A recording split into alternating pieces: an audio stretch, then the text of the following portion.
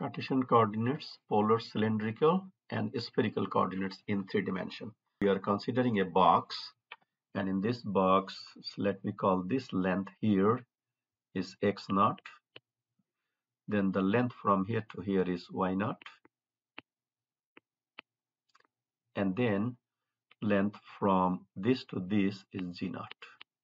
So then in that case you can say this is the point here. I call it c x naught y naught z naught. Also you can say this length is y naught here this one is x naught here and this length here is z naught. Is that right? This is Cartesian system. Now when you are going to cylindrical coordinate this is coming from the polar coordinates r and theta. In this case what happens this is your x-axis y-axis z-axis so the angle from x to y that one is theta and then r is the radius of this. So this is your r.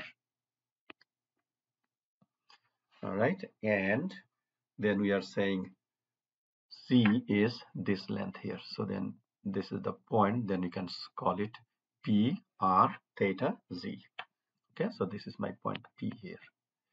And then in the spherical coordinate what happens? This is again y-axis x-axis z-axis and the point is located here. In this case we say from xy my angle here is still theta.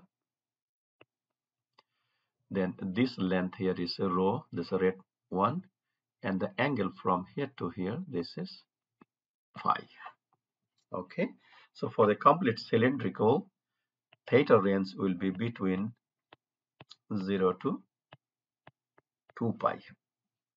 In this case your theta will be again between 0 to 2 pi but phi will be the angle between 0 to pi. So then phi can go from all the way to this z-axis in here. So that will be the measurements. Now how we make the connections among all these systems? So first of all when you are going from C to P, that means I'm going from Cartesian to the cylindrical. So I will have x equals or x naught you can say in this case x naught will be r cosine theta y naught will be r sine theta and z will be z naught next when I'm going to Cartesian to spherical coordinate, the ideas are very simple. X naught will be, now R becomes rho here. And then since you have cosine theta, you just put here cosine theta. And additionally multiply with sine phi. And then Y naught will be same as this Cartesian to polar, right rho sine theta and then multiply with sine phi. And then z naught will be rho cosine phi. So these are all the connections. We can see so i will write as a general case now. So we said that x equals r cosine theta y equals r sine theta. So when you say x squared plus y squared that will be r squared cosine squared theta plus r squared sine squared theta. If you factor out r squared, you get cosine squared theta plus sine squared theta, which is the known identity, which is 1. So you just get r squared. So remember, when you are saying x squared plus y squared, it is r squared. So this is the connection from Cartesian to cylindrical.